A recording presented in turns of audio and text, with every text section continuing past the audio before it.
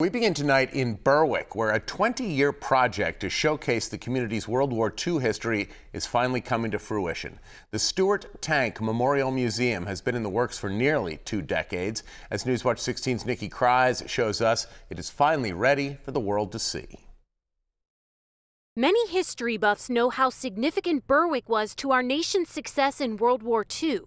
More than 15,000 Stuart tanks were built in this community at the American Car and Foundry plant. They had 9,135 workers from 177 communities throughout northeastern Pennsylvania. And now, 78 years after that last tank was built, a museum will open two blocks away, spotlighting its history.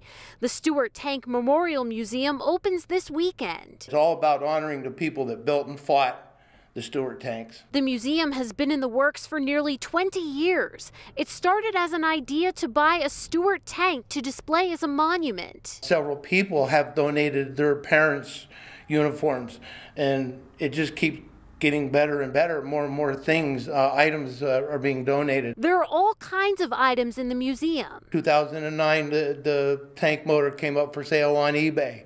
Uh, last year, the flamethrower came up for sale. We were able to buy one of those. But the museum's highlight is, of course, the Stuart tank.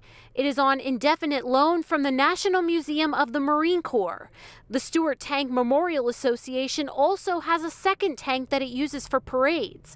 Organizers say it was important to bring the tanks back to Berwick. Almost everyone in town had some relative that worked on these tanks or served in them in the military. Organizers also say the museum is able to open because of community donations. We're pretty excited to be where we are today. The grand opening is Saturday from 12 to 3 o'clock and admission is free.